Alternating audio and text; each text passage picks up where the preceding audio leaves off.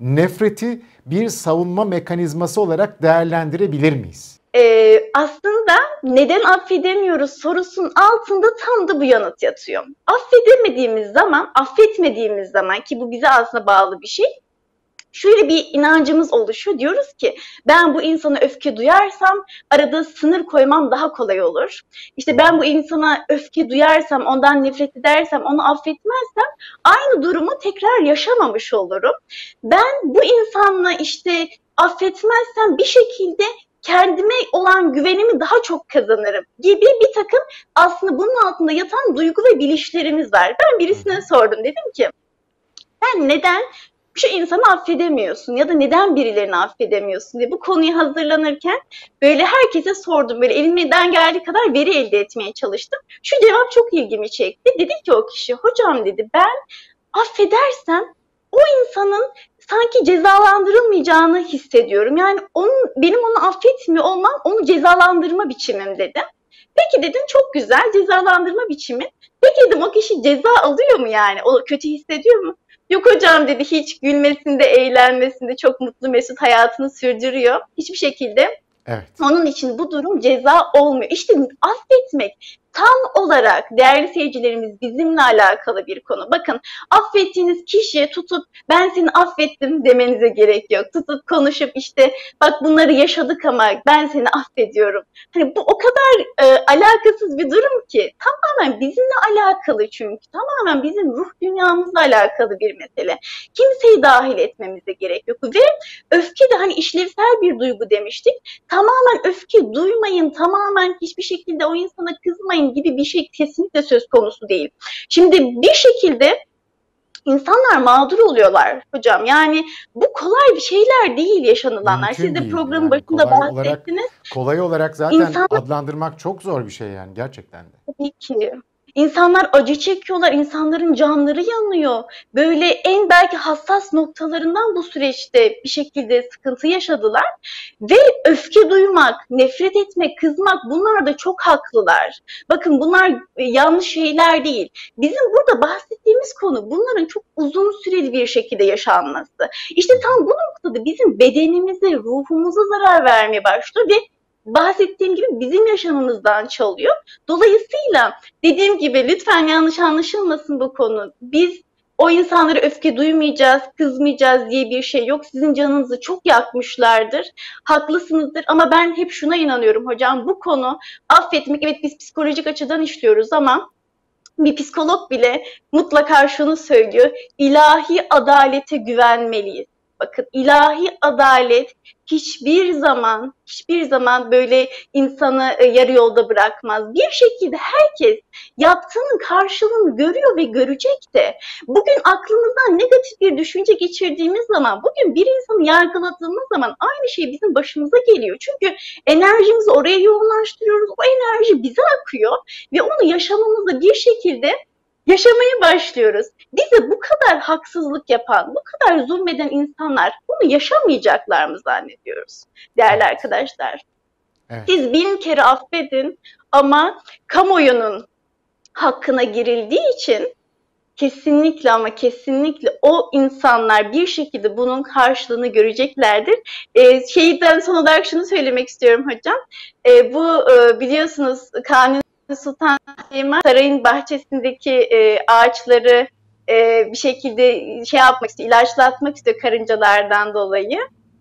Ve şöyle bir e, mektup yazıyor. Diyor ki o zamanki işte e, Şeyhül İslam'a evet. evet zırgahta ger ziyan etse karınca za, e, zamanı var mıdır anı kırınca yarın hakkın divanına varınca Süleyman'dan alır hakkın karınca diyor. Çok iyi bildiğim bir şey neden orada takıldım bilmiyorum.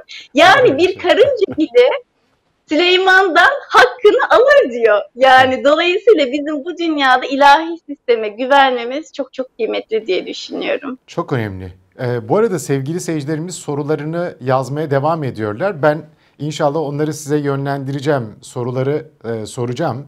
Ee, İbrahim Bey Az önce sorduğu soruya ek olarak başka bir şey daha sormuş. Diyor ki travmanın en şiddetli hangi bilinç düzeyinde travma en şiddetli hangi bilinç düzeyinde oluyor?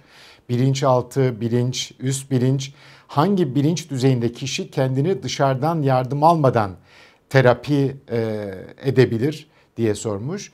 Bir Emel Hanım bir başka seyircimiz diyor ki enerjimizi çalan ya aynı evden birisi ise ondan da kurtulamıyorsak, çekip gidemiyorsak ne yapmalıyız demiş. Buyurun. Affetmenin belli dereceleri vardır ve bu herkes için aynı şekilde gerçekleşmez. Mesela siz bir arkadaşınızı kırılırsınız bir arkadaşınızı hayatınızdan çıkartabilirsiniz.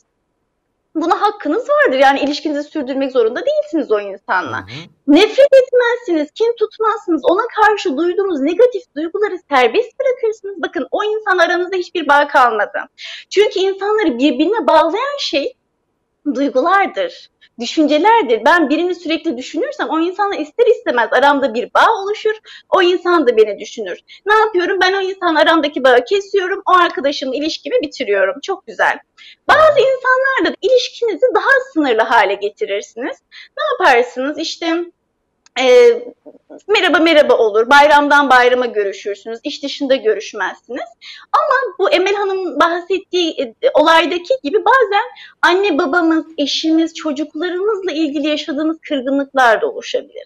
Burada şunu değerlendirmek lazım. Ben öncelikle o affetme kısmına gelene kadar bu insanlarla arama sınır koyabilir miyim? Yani illa e, bizim damarımıza basacağı noktalardan ona bahsetmemiz ya da ona o hakkı vermemiz gerekmiyor. Bakın sınır koymak, birilerine hayır demek, kendi sınırlarımızı korumak o kadar kıymetli bir şeydir ki zaten o yüzden affedemenin içerisinde öfke vardır. Çünkü öfke insanın ruhunun sınırlarının bekçisidir. Bir şey öfke duyduğunuz zaman bilin ki orada sizin sınırlarınız ihlal edilmiş. Bunu yapan kişi anneniz, babanız, çocuğunuz, eşiniz hani en yakın kişilerden bahsediyorum. Bu noktada onlarla konuştuğumuz sohbetleri değiştirebiliriz. Hı hı. Farklı şekillerde sınır koyabiliriz. Çok fazla görüşmeyiz ve ya da şunu da açıkça söyleyebiliriz. Bak ben sana şu anda çok kırgınım ve ben seninle şu anda görüşmek istemiyorum. Lütfen bu ara görüşmeyelim. Ya da kırgınlığınız üzerine konuşabilirsiniz. Belki arada yanlış bir anlaşılma da meydana gelmiş olabilir. Belki o dönem kişi gerçekten zor zamanlar geçiriyordur ve size çok istemediği şekilde davranmış olabilir. Burada yakın kişilerse, ilişkimizi koparamayacağımız insanlarsa affetme konusunda sıkıntı yaşadıklarımız bunlarla o konuyu açıkça konuşmak, mümkünse tabii ki eğer çok kişi reddedecekse bu durumu o zaman kendi içimizde sınır koymak ve bunu da belirtmek yarar sağlar diye düşünüyorum. İbrahim Bey'in ilk sorusunu hocam ben unuttum da bunu açıklarken. Hemen, hemen söyleyeyim. Hemen söyleyeyim. Bu arada bir seyircimiz e-mailden bir soru yöneltmiş Yusuf Bey. Diyor ki biz affedemiyorsak, özür diliyorum, karşı tarafı biz affedemiyorsak ya da affettik diyelim. Karşı taraf bizi hiç affetmiyorsa ne yapabiliriz diye sormuş. Siz o sorunun cevabını verin ben diğer soruya bir daha bakayım. Tamam. Yusuf Bey de bu konuyu aslında affetmesinin kavramını düşünerek e, bulabilir cevabını. Neden? Çünkü affetmek neydi? Kişinin kendisiyle alakalı bir konu değil mi? Yani o kişi de kendi kalbinde bir yük taşıyordur o zaman sizi affetmeyerek. Ve şöyle bir konu var hocam. Hani dedim ya sufilere ilk verilen ders incitme, son verilen derste incinmedir. Çünkü bir insan insanı kamil olma yolundayken bunu bir şekilde başarmaya adım atarken kendi içindeki yaraları kapatmıştır kişi ne söylese tesir etmez. Hani Hazreti İsa diyor ya biri size tokat attığında diğer yanağınızı çevirin, sağ yanağınızı attıysa sol yanağınızı çevirin diye. Bakın orada mantık ne biliyor musunuz? Boyun eğmek, işte aciz olmak, işte dinin işte insanı böyle eziklemesi anlamında değil. Orada kişi bir duygu yaşıyor ve onu bize ifade ediyor şiddet uygulayarak ve orada sizin diğer yanağınızı çeviriyor olmanız o kişinin döngüsünü kırmak anlamına gelir. Kişi bir anda duraksar ve der ki bir dakika ben ne yapıyorum? Bakın orada bir boşluk oluşturmuş oluruz. Dolayısıyla affetmek kişinin tamamen kendisiyle alakalı. Belki siz çok normal bir davranışta bulundunuz. Hı hı. Ama o insan o kadar gururu hassas, o kadar kolay incinen birisi ki sizin o davranışınızı kırıldı. Olabilir bunlar günlük hayatta yaşanmıyor mu? Çok fazla yaşanıyor. Burada tam da o kişiyle alakalı bir problem vardır. Bizim çok yap- yapabileceğimiz bir şey yok. Sadece şunu sorabiliriz. Senin için ne yapabilirim? Bu konuda gerçekten çok üzgünüm, hatalı olduğumu farkındayım. Lütfen ilişkimizi yeniden kuralım Yeniden düzenleyelim. Ben hatamı fark ettim. Açık olmak, duygularımızı ifade etmek her zaman yarar sağlayabilir. Evet. Bu arada insan neden affedemez sorusuna da böylece giriş yapmış olduk. Ee, ama İbrahim Bey'in sorusunu tekrar sormuş olayım. Diyor ki hangi bilinç düzeyinde kişi kendini dışarıdan yardım almadan terapi edebilir? İşte bu o kadar zor bir soru ki. Yani bazen bakıyorsunuz danışan çok zor şeyler yaşamış. Çok ağır travmaları olduğunu düşünüyoruz. E, bir iki seansta sorun halloluyor. Çok basit yöntemlerle danışan normal bir düzeye geliyor. Bazen de çok basit gördüğümüz bir şeyi haftalarca belki aylarca çok e, düzelemeyebiliyor. Bu tamamen zaman, kişiden kişiye göre değişen bir olgu. O zaman bu mesela uzun zamanda ancak halledilebilen, uzun terapilerle ancak halledilebilen bir şey bilinçaltına inmiş diyebilir miyiz? Aslında bilinçaltı diye bir şey yok. Hani bizim toplumumuzda e, çok kullanılan bir kelime. Bilinç dışı var. E, hatta Freud biliyorsunuz bilinçaltını çıkartan kişi, bulan e, bilim adamı. Ama son yazdığı makalelerde bilinç dışı dediğini duyuyoruz. Çünkü bilinçaltı diye bir şey yok. Yani bilincin altı üstünden ziyade bilincin dışı var.